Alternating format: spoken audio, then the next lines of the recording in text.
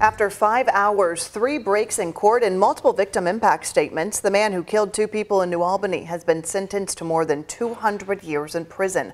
It's our top story at 5. Thanks for joining us. I'm Shay McAllister. And I'm Doug Proffitt. Here's the latest on Sherrock Douglas, found guilty of the double murder in August.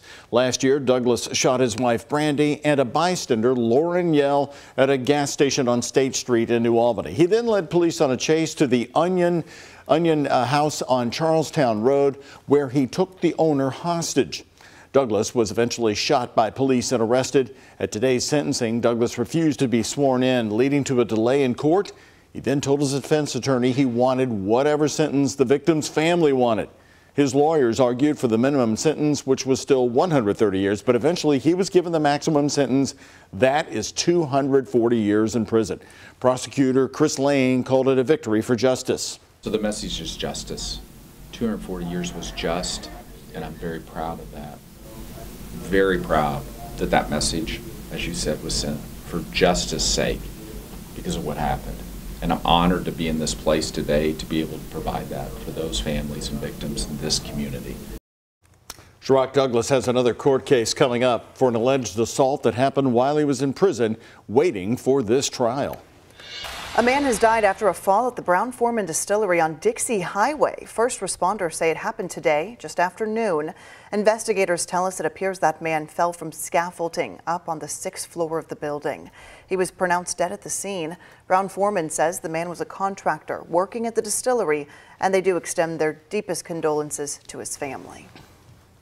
Well, we're following late developing story today about the big strike for the automakers. The United Auto Workers Union could be getting close to a tentative deal with the Ford uh, company, Ford Motor Company. That agreement would be critical to ending the union's six-week-long strike against the three automakers. As you know, it's also underway here in Louisville. Now, two people with knowledge of the talks told the Associated Press today that the two sides are moving towards a potential deal. Sources say the union has made a counteroffer to Ford that proposes a 25% general wage increase over the life of a four-year contract. It sounds like negotiations on Tuesday extended well into this morning, Wednesday morning.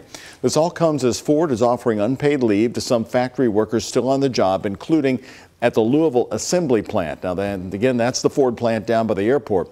We talked with local UAW President Todd Dunn on Monday they have so many members that, like I said, have come back trying to get ready for the contract as we get closer to it.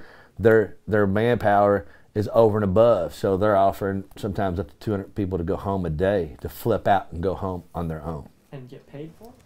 Again, that was from Monday. Again, the strike is still underway outside the Kentucky truck plant in eastern Jefferson County. It's still possible the negotiations could unravel, but if the UAW can reach a tentative deal with Ford, it would be used as a model to seek similar contract settlements with GM and Stellantis. Tonight at 5 o'clock, voting advocates are highlighting the power of black voters as the November election sits just two weeks away. At the top of the ballot, the race for the Kentucky governor. Senior reporter Isaiah Kim Martinez and photojournalist Emma Gefter are talking with groups who say black voices will make a difference on who wins. Organizers for the group Black Voters Matter are emphasizing just how vital the voice of black Kentuckians will be in this election for issues like public safety, the economy, as well as the race for governor. Medium. Simply handing out shirts. There you go, then. And striking up conversations, urging young college students to vote. I feel like as the black community, we don't realize that we're actually bigger than what we think we are. They're the efforts being made before a high stakes election, the governor's seat on the ballot. Do you think that effort will dictate who's in the governor's seat? This year? Absolutely. If we just turn out a few more people, we could literally win an election. The race between incumbent Governor Andy Beshear and challenger Attorney General Daniel Cameron is being watched closely, along with the issues people want solved. We know that we have a poverty issue. We know we have a policing issue. We know that there's people on the ground that want to see change. As history has uh, kind of predicted, the way Kentucky goes in their governor's race, so does the presidential next year. So we know that black voters matter across this state is crucial. Dean Charles Anthony II and other voting rights advocates are on U of L's campus Wednesday, engaging with some of Louisville's youngest voters. Making sure they show up to the polls next month. Political parties often really focus on Louisville and Lexington when talking about black voters. They talk about us as pawns to turn out, and they don't really try to understand what is important to us. So folks like Celine Mutuyemaria with the Black Leadership Action Coalition of Kentucky have traveled across the state to see what truly matters to black Kentuckians. I understand that there, there's been a lot of economic growth across the state, but is that actually translating into people being able to access these jobs and not face barriers to these jobs? While Mutuyemaria says their focus is to get voters to look beyond the top of the ticket, she also acknowledges the governor's race, understandably, is getting the most attention after the protests of 2020. Uh, Daniel Cameron failed to get justice for Breonna Taylor, and that is just one example of the many ways that he does not speak for our community or um, try to work for justice for black communities. In a statement, a spokesperson for the Cameron campaign telling me, quote, Kentuckians know Attorney General Cameron's obligation is to follow the law, no matter what. She goes on to say, quote, people regardless of skin color want their leaders focused. She goes on to say, quote, people regardless of skin color want their leaders focused on growing the economy, improving education, and reducing crime, end quote. Isaiah Kim Martinez, WHAS 11 on your side. Well, if you're looking for more information on the governor's race, we have a voter's guide ready on our website right now. You can go check it out at WHAS11.com.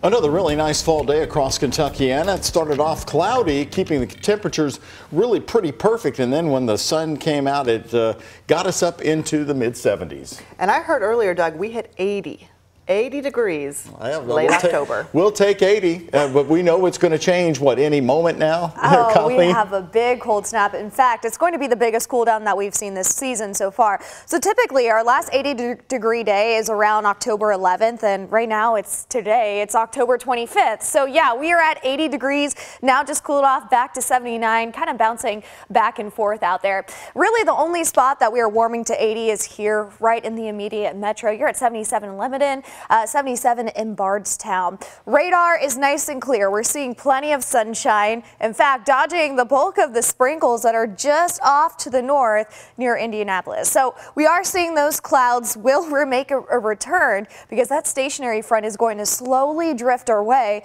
bringing us rounds of rain throughout this upcoming weekend.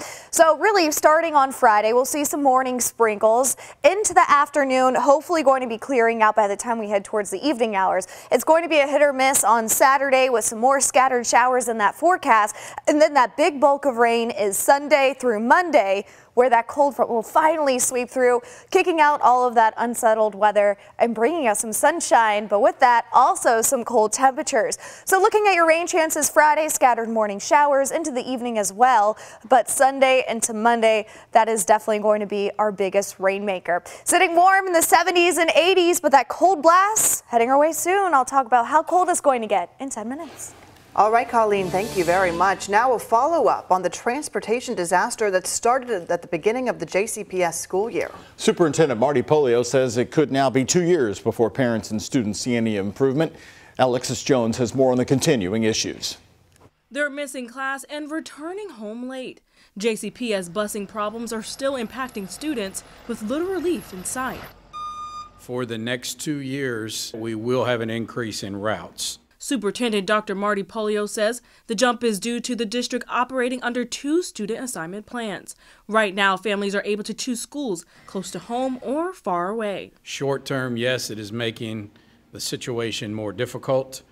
Um, long term, we will see a drop once we minimize and eliminate the old student assignment plan, so to speak, or the one that uh, was before our 2021 vote. Pollio says the drop will happen after two years. His update came after board member Linda Duncan asked how Western High School's new magnet program will affect transportation. The program will be open to all JCPS students. Dr. Pollio says it could make the situation harder, but having more magnet options across the city helps. He adds officials will need to make difficult decisions next year about how and who is transported. However, parent Berkeley Collins says families shouldn't lose out for choosing better performing schools further away from home. Collins suggests sticking to what was done before, splitting up one bus route into two trips. As long as I know my kids can get to school and they can get back home and they can have that education that they need and what I want for them. I am fine and they are fine waiting at school for an additional 30 minutes, an hour, hour and a half, whatever it is for those ways of buses to come back and get them to take them back home. But JCPS says that would put the district in a worse position. Pollio says they're willing to meet parents halfway. As for going backwards, it's not in the district's plans. In Louisville, Alexis Jones, WHAS 11 on your side. Well, JCPS has four options it may consider to improving transportation, including requiring all magnet and traditional students to be dropped off at a central location like a shopping center, or even cutting transportation for any student who attends a magnet or traditional school.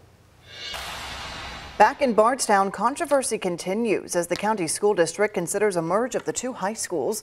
Before last night's special meeting, students, parents, and staff lined up in front of the Nelson County Central Office. They were there for a quick meeting called by the Board of Education to vote on the resignation of board member Damon Jackie. Jackie resigned last week after voting against the continued discussion of that high school merger. He told WHAS 11 he chose to resign when he felt other board members were not standing up for the public education system. Whenever I started seeing that there were certain board members that were doing things that make my head kind of scratch and go, that doesn't seem right. And then something else happens. And then we've got three board members that have apparently refused to listen to the overwhelming majority of the community on this topic of the one high school. Parents say they're sad to see him go, but they understand. As for any more discussion on the merger, it didn't happen last night. The meeting was quick, starting and ending within about five minutes. Well, after more than three weeks, it finally happened. Republicans elected 51-year-old Louisiana State Rep uh, Congressman Mike Johnson as the new Speaker of the House. Johnson's speakership comes after three other nominees failed to secure the votes they needed. Representatives Steve Scalise, Jim Jordan, and Tom Emmer all tried and are, did not get the job. Johnson, a constitutional lawyer and staunch Donald Trump ally, has been in Congress since 2017, which will make him the least experienced speaker in 140 years. We know that, uh, that there's a lot going on in our country, domestically and abroad, and we are ready to get to work again to solve those problems. In a letter to colleagues, Johnson outlined his most immediate priorities, which include passing some appropriation bills this week, as well as a short-term funding measure to keep the government open past mid-November. Well, you have a lot to say about this choice as Speaker of the House on the rant line. That's coming up at 545, and you can still weigh in about the new Speaker. Give the rant line a call. The number is 502-582-RANT.